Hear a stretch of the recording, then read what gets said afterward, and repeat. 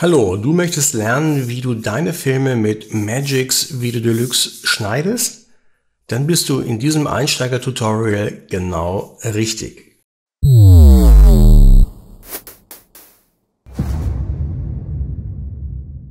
Unmittelbar nach dem Programmstart erscheint dieses Fenster.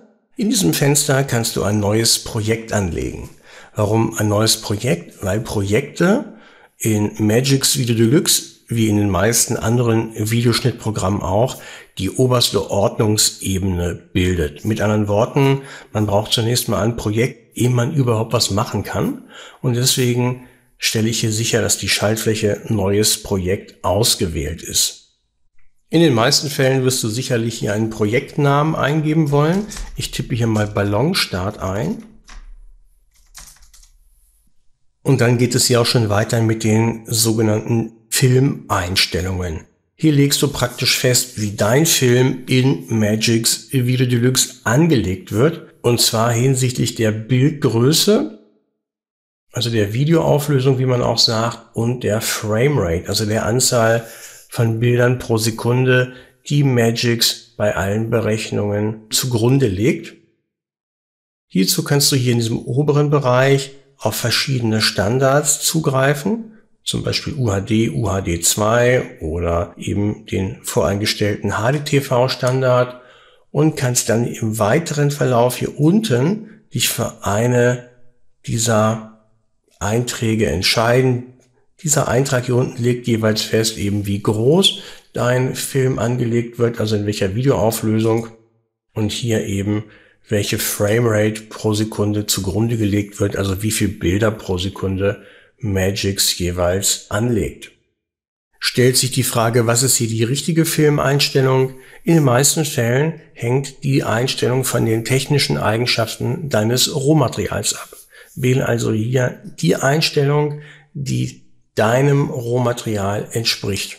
Diese verschiedenen Standards und Möglichkeiten hier im Detail vorzustellen, würde aufgrund der Vielfältigkeit den Rahmen dieses Einsteigervideos deutlich sprengen. Deswegen verzichte ich an dieser Stelle darauf und darf hier aber schon mal auf meine beiden Video-Trainings hinweisen, wo ich hier im Detail auf die verschiedenen Standards eingehe und dir erläutere, wann du die wählen solltest, beziehungsweise welche Besonderheiten damit jeweils verbunden sind. Ich entscheide mich hier für den voreingestellten Standard HDTV und hier unten für die sogenannte Full HD Auflösung. Weiter geht's hier mit einem Klick auf Projekt erstellen. Ja, dann sehen wir hier auch schon die Programmoberfläche. Dann haben wir hier auf der rechten Seite den sogenannten Media Pool. Hier habe ich jetzt mal das Rohmaterial geladen, das ich in diesem Einsteiger-Tutorial verwenden möchte. Das habe ich getan, indem ich hier auf Computer geklickt habe und dann hier auf der rechten Seite in den dann hier dargestellten Verzeichnissymbolen zu diesem Verzeichnis navigiert bin. Dann werden mir hier die Inhalte eben dieses Verzeichnisses dargestellt. Rechts oben haben wir hier einen Schalter, da können wir draufklicken und dann kann man hier die Größe der Miniaturen steuern, um so sicherzustellen, dass man hier auch wirklich alle Inhalte eines Verzeichnisses gut erkennen kann.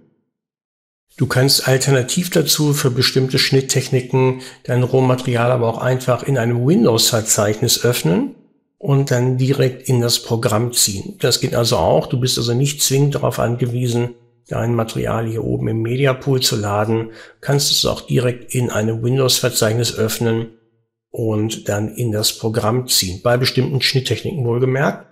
Zieh das mal wieder raus. So. Und dann geht's ja gleich weiter. Okay, dann wollen wir uns mal um den Schnitt des Materials kümmern. Magix bietet verschiedenste Möglichkeiten, dein Material zu schneiden. Eine der zentralen Entscheidungen in dem Zusammenhang ist, welche Fenstervariante, sprich welchen Fenstermodi man hier unten einstellt. Dieses Fenster hier unten ist das sogenannte Projektfenster. Das Projektfenster kann in drei verschiedenen Modi betrieben werden.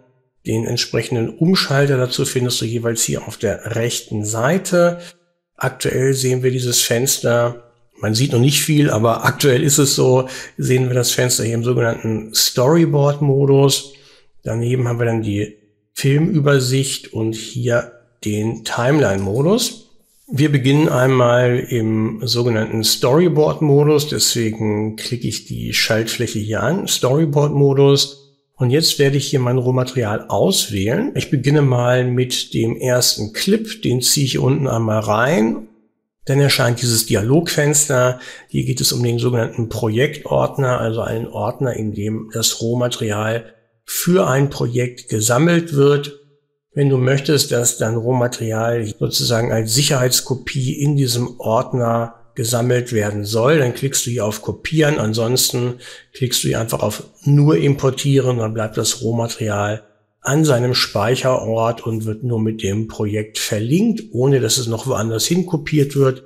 Deswegen gehe ich hier mal auf Nur importieren und dann haben wir auch schon den ersten Clip hier unten im Storyboard-Modus. Ein solcher Clip wird dann hier in Form einer solchen Filmbox dargestellt. Und wenn ich jetzt noch mal einen zweiten hier dahinter ziehe, dann kommt hier erneut diese Meldung. Ich gehe nochmal auf nur importieren und dann haben wir hier die zweite Filmbox unmittelbar dahinter. So entsteht praktisch eine Reihenfolge deiner Filmclips wenn du die Reihenfolge komplett übernehmen möchtest, so wie die Reihenfolge hier auch im Media Pool zu sehen ist, beziehungsweise wie die Reihenfolge auch in dem Windows-Verzeichnis eventuell zu sehen ist, aus dem du das Material ziehen möchtest, dann brauchst du dein Rohmaterial hier bloß auszuwählen. Ich habe mir dazu jetzt einfach eine Sammelauswahl vorgenommen indem ich hier den ersten Clip angeklickt habe und dann mit gedrückter Shift-Taste auf den letzten geklickt habe. Und dann ziehe ich jetzt einfach mal diese verbleibenden Clips hier rein. Kommt eben nochmal dieser Dialog, da gehen wir nochmal auf nur importieren. So, und dann füllt sich zusehends das Projektfenster hier unten, das wir, wie gesagt, aktuell im sogenannten Storyboard-Modus betreiben. Wir haben jetzt hier relativ viele einzelne Clips. Wir sehen aber noch nicht alle und das liegt unter anderem daran, weil wir einen relativ großen Zoom-Faktor eingestellt haben und wenn ich jetzt hier mit dem Schieberegler agiere, sehen wir, was das meint. Das heißt, ich kann hier mit dem Schieberegler schon einmal die Größe dieser Filmboxen, dieser Miniaturen steuern. kann diese also einfach verringern und so mehr Filmboxen auf einmal sehen. Trotzdem bekomme ich die hier nicht alle zu Gesicht. Selbst wenn ich jetzt diesen Zoom-Faktor hier relativ klein einstelle, beziehungsweise auf den geringstmöglichen Wert, also ganz nach links ziehe den Regler, um dennoch alle sehen zu können, beziehungsweise auch die anderen in Augenschein nehmen zu können, haben wir hier unten einen Scrollbalken, den schiebe ich mal nach rechts. Und dann kann ich jetzt hier wirklich alle anderen Videoclips sehen, beziehungsweise in Augenschein nehmen. Erhöhen mal wieder den Zoom-Faktor, dass wir hier die Miniaturen besser erkennen können. Und wenn du jetzt bei der Durchsicht feststellst, dass an der einen oder anderen Stelle die Reihenfolge vielleicht doch nicht stimmt, dann ist es in diesem Modus besonders praktisch, die Reihenfolge zu ändern. Wenn wir jetzt zum Beispiel hier die Reihenfolge ändern möchten, wir haben hier zwei sehr ähnlich aussehende Clips, und wenn man die hart hintereinander schneidet, dann entsteht das Phänomen der springenden Bilder. Der Zuschauer nimmt das als Störung wahr, eben weil die Bilder sich dann doch recht stark ähneln, aber halt doch nicht ganz identisch sind. Und beim Umschnitt registriert der Betrachter das als Störung, als Fehler, wie auch immer, registriert es als springendes Bild und das möchte man deswegen vermeiden. Und wenn ich jetzt hier die Reihenfolge ändern möchte, zum Beispiel indem ich diesen Clip hier nehme und dazwischen ziehe, dann habe ich dieses Phänomen der springenden Bilder an der Stelle entschärft und eben die Reihenfolge verändert. Ich muss also nur den Clip nehmen und einfach an eine neue Position ziehen. Das ist natürlich äußerst bequem und so kannst du hier auf diese Art und Weise die Reihenfolge deiner Clips ganz bequem anpassen und alles in die entsprechende Abfolge bringen, so wie du dir das vorstellst. Dasselbe vielleicht auch noch mal hier auch den Clip ziehe ich mal zwischen diese beiden Clips. Und auch hier geht das mit der Reihenfolgeanpassung ganz bequem vonstatten. Ja, dann gehe ich mal ein bisschen nach links, klicke dazu auf den Scrollbalken und dann haben wir hier beispielsweise einen Clip. Das hier ist so ein Gebläse, das die Ballonhülle aufbläst und das ist sehr laut. Wenn ich das wiedergebe, Wenn wir das hören, um die Wiedergabe zu starten, kann ich hier einfach die Leertaste drücken.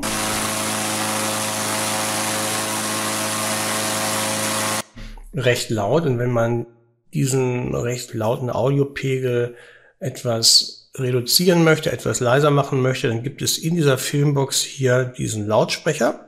Klickt man drauf, dann bekommt man hier diesen Pegelsteller, diesen Schieberegler angezeigt und ich ziehe den einfach ein bisschen nach unten und gebe jetzt diesen Clip nochmal wieder. Der Sound ist jetzt deutlich leiser. Hier haben wir also die Möglichkeit, den Pegel eines Clips anzupassen. Zudem haben wir hier noch weitere Symboliken. Wir können hier zum Beispiel auch Clips überblenden. Wenn ich jetzt zum Beispiel eine Überblendung zwischen den beiden Clips realisieren möchte, dann kann ich hier auf dieses gelb-blaue Icon klicken zwischen den beiden beteiligten Clips. Und nach ungefähr ein, zwei Sekunden taucht dann dieses Menü auf. In diesem Menü geht es hier oben um eben genau das, um das Thema Blenden. Voreingestellt werden die Clips nicht überblendet. Dann ist diese Funktion hier praktisch aktiv, Schnitt keine Blende. Also dieses Symbol, was wir hier sehen, dieser gelbe und blaue Streifen, steht dafür, dass es hier einen sogenannten Hartschnitt hat, also dass hier keinerlei Blende beim Schnitt von dem linken auf den rechten Clip zum Einsatz kommt. Ein harter Schnitt eben.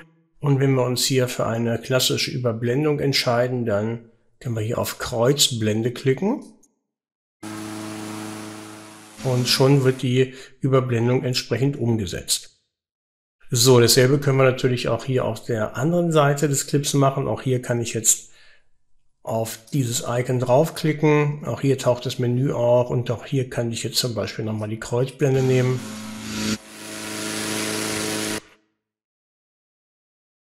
Jetzt war der Tonunterschied, also der Pegelunterschied doch relativ stark. Jetzt haben wir den hier so stark verringert, dass das schon richtig störend auffällt. Das heißt, das möchte ich nochmal ändern. Dann gehe ich hier nochmal auf den Lautsprecher und erhöhe hier mal den Pegel erneut.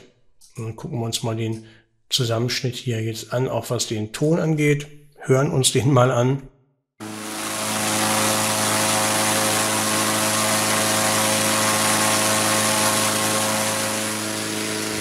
Schon besser. Somit können wir also hier in diesem Storyboard-Modus dann doch schon einige Dinge bewerkstelligen, können also die Clips überblenden, wenn wir das möchten, können den Pegel anpassen und wir haben hier sogar die Möglichkeit, bereits Text zu erzeugen.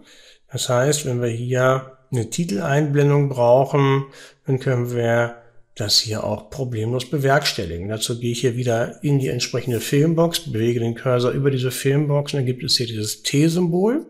Klicke ich drauf und dann erscheint auf der rechten Seite im Media Pool so ein Texteditor und im Videomonitor selbst auf der linken Seite ist jetzt so ein Eingabefeld zu erkennen mit dem Titel.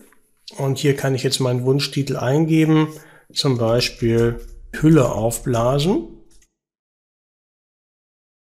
Wenn ich jetzt hier auf der rechten Seite die entsprechenden Schieberegler und Anpassungen vornehme, wird das gleich umgesetzt, aber nur, wenn ich das im Zweifelsfall hier auch vorher markiere. Dann markiere ich den Text hier einfach mal und dann sollte das hier auch gehen. Das heißt, ich erhöhe jetzt hier die Schriftgröße, sowas, und kann dann hier noch andere Sachen einstellen, wie die Farbe und so weiter. Aber ich übernehme das erstmal. Ja, ich übernehme das hier mit einem Klick auf dieses Häkchen und dann haben wir hier an der Stelle einen Titel.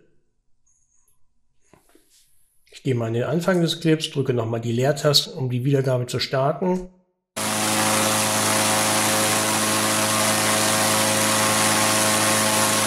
Und wir können uns ja mal anschauen, wie Magix das gemacht hat. Ich wechsle dazu mal den Fenstermodus eben vom Storyboard-Modus hin zum sogenannten Timeline-Modus. Das ist diese Schaltfläche. Und dann sehen wir eine spurenorientierte Darstellung eben in diesem Timeline-Modus. Dann sehen wir hier, hat die Software den Text angelegt. Das ist hier ein Textobjekt unten drunter, numerisch gesehen, darunter liegt der Videoclip, den wir hier die ganze Zeit bearbeiten. Der liegt ja auf der Spur 1. Hier haben wir also die Spur 1, Spur 2, Spur 3, Spur 4. Somit liegt der Text selber numerisch gesehen auf einer höheren Spur. als eben das Video und deswegen überlagert der Text das Video. Das steckt dahinter. Ja, ich wechsle nochmal in die Storyboard-Ansicht. Dann sind wir hier wieder an der Stelle. So, dann navigiere ich nochmal an den Anfang. Das führt uns hier zu diesem Clip.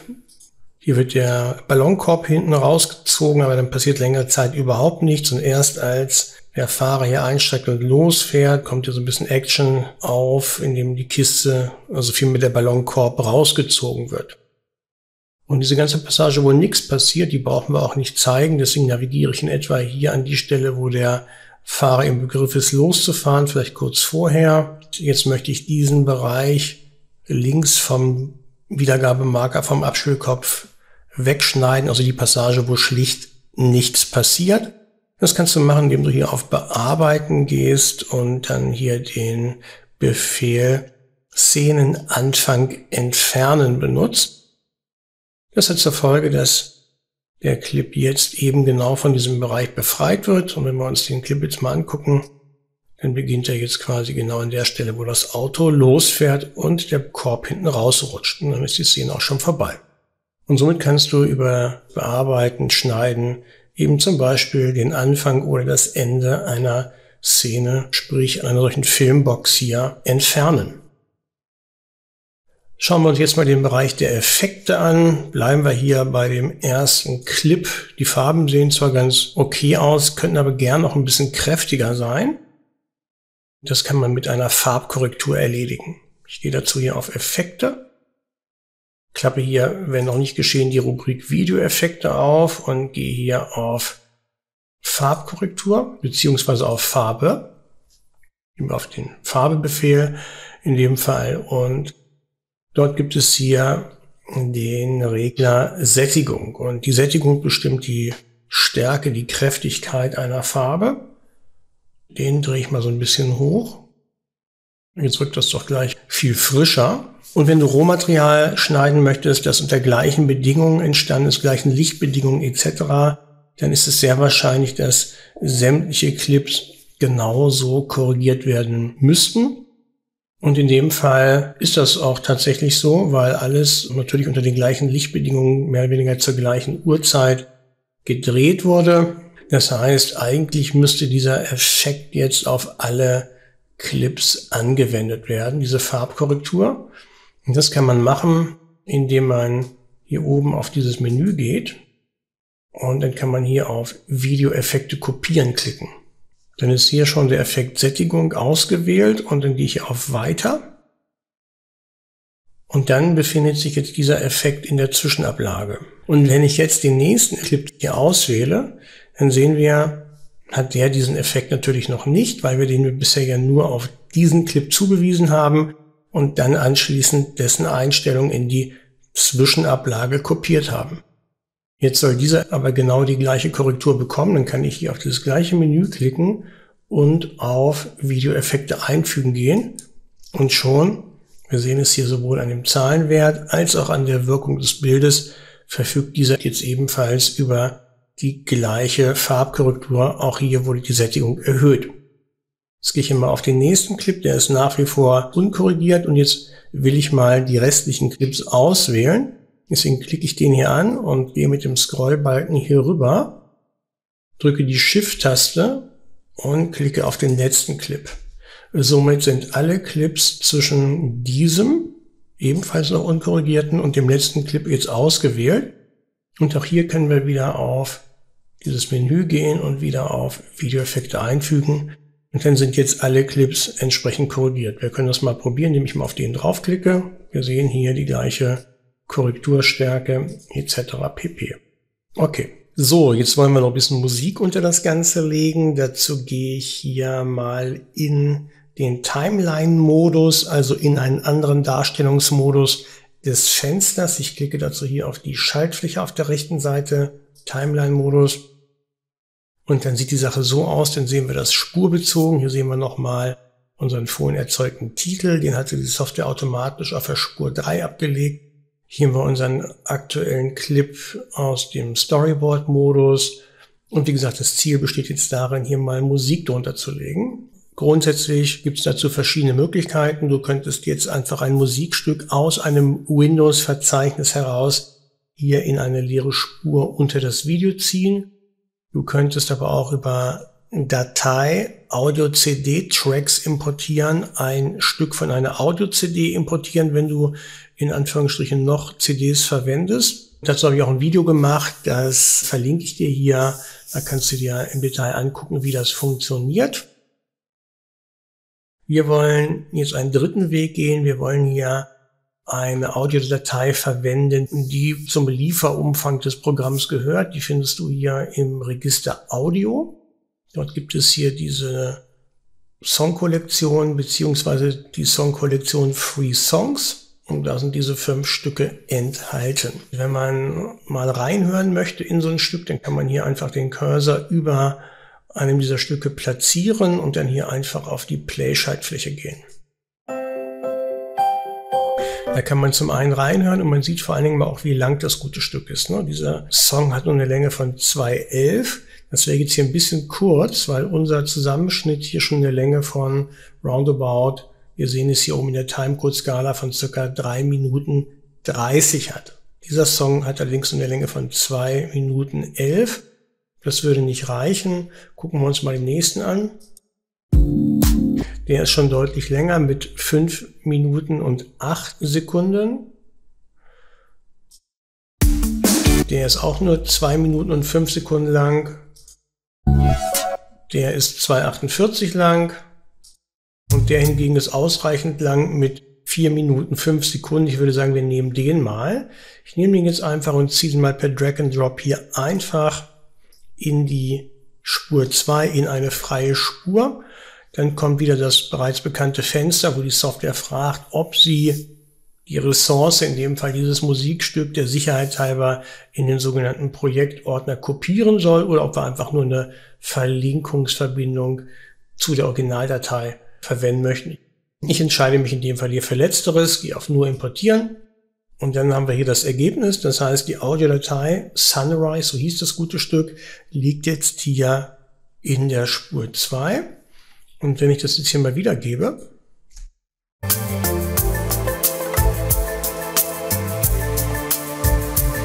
dann hört sich das so an. Suchen wir uns noch mal eine Passage raus, wo die Umgebungsgeräusche, die sogenannte Atmo recht laut war, weil einfach viel passiert. Zum Beispiel hier im Bereich dieses Gebläses. Sehen wir, dass die Musik jetzt völlig dominiert wird. Die ist überhaupt nicht mehr zu verstehen, weil eben die Atmo so laut ist. In anderen Bereichen hingegen, wo nicht so viel los ist, ist das nicht so ein Problem. Die Atmo ist zwar noch in Nuancen wahrnehmbar, Somit haben wir also hier den Umstand, dass die Umgebungsgeräusche je nach Clip zum Teil stark variieren, also in ihrer Lautstärke stark variieren. Wenn man die Umgebungsgeräusche beibehalten möchte, die Atmo, dann könnte man das auch clipbezogen abmischen, das Verhältnis zwischen der Musik und dem Clip. Auch spurbezogen kann man das abmischen. Also es gibt viele Möglichkeiten, wie man über den Zeitverlauf hinweg den Audiopegel verändern kann, eben um einen stimmigen Gesamteindruck zu erzielen. Das würde jetzt den Rahmen dieses Einsteiger-Tutorials allerdings erheblich sprengen und deswegen würde ich jetzt hier mal zu einer ja, simpleren Variante neigen. Das heißt, ich möchte jetzt diese Originaltonspur, die Atmo, nicht komplett löschen, damit sie einfach in bestimmten Bereichen, zum Beispiel hier, wo das Gebläse seinen Job macht oder hier hinten, wenn die Stimmen der Leute noch zu hören sind, die die Ballonfahrer verabschieden, damit diese tatsächlich auch noch ein bisschen zu hören sind, würde ich dann vielleicht Folgendes vorschlagen, dass man hier alle Clips markiert. Dann geht man hier auf Effekte, geht dann hier in den Bereich Audioeffekte. Dort gibt es die Kategorie Allgemein und hier können wir jetzt die Lautstärke reduzieren. Ich würde das mal so auf 20, 25 vielleicht stellen probieren wir das gleich mal hier an der Stelle aus, wo man diese Stimmen der Leute, die am Boden sind, eben noch gut hören konnte. Die, also die Ballonfahrer verabschieden. Mal sehen, wie das jetzt ist bei einer Einstellung von 25.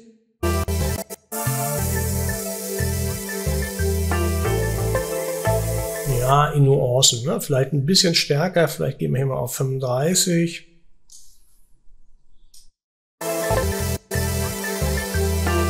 So, dann sind die schon ein bisschen besser zu verstehen, wenn auch nur noch als Fragment, aber man kann das erahnen, dass da Stimmen da sind.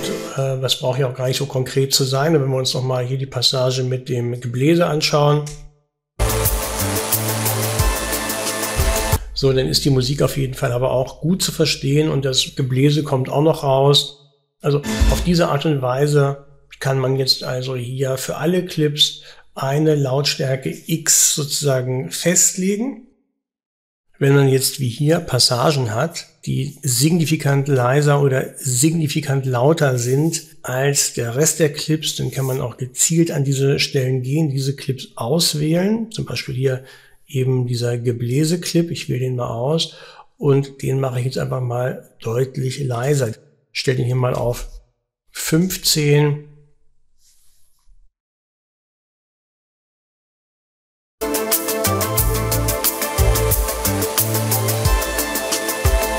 war das zu leise und so muss man sich vielleicht ein bisschen rantasten. Wir hatten vorhin 35, mache ich mal 25.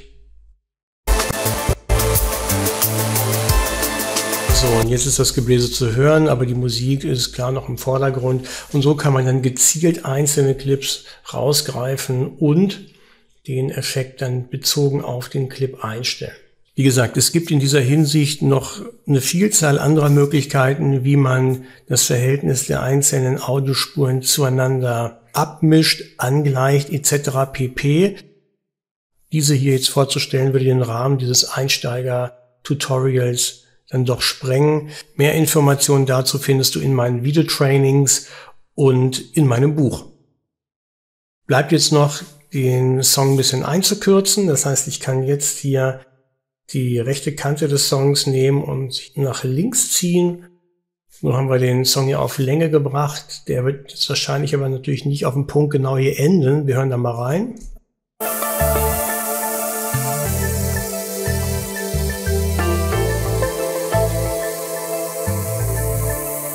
Wir können dieses abrupte Ende insofern entschärfen, als dass wir hier jetzt den Clip ausblenden. Dazu gehe ich hier auf den Clip und ziehe diesen Anfasser ein bisschen nach links. Hier gibt es diesen weißen Anfasser, den ziehe ich nach links.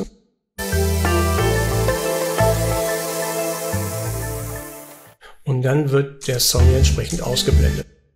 Bleibt noch der letzte Schritt der Export, also die Ausgabe als Videodatei, die unabhängig von Magix Video Deluxe wiedergegeben werden kann.